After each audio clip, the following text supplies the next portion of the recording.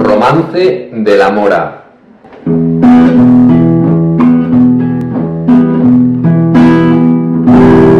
Y el arrullo tan con sus cristalinas aguas y a su paso por Belvis y este romance dejará y el rey de la morería y sus huestes avanzaban la mayor de las sus hijas rodeada de sus damas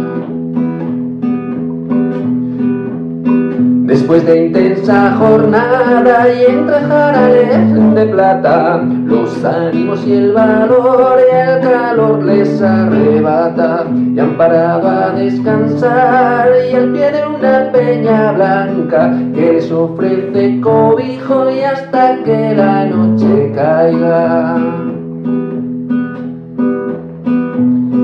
Y al amparo de la noche, mientras la mora se baña, forajidos desalmados la honra la arrebatarán, por miedo a ser descubiertos por los gritos de la dama, arrebatan de la vida sumergiéndola en el agua.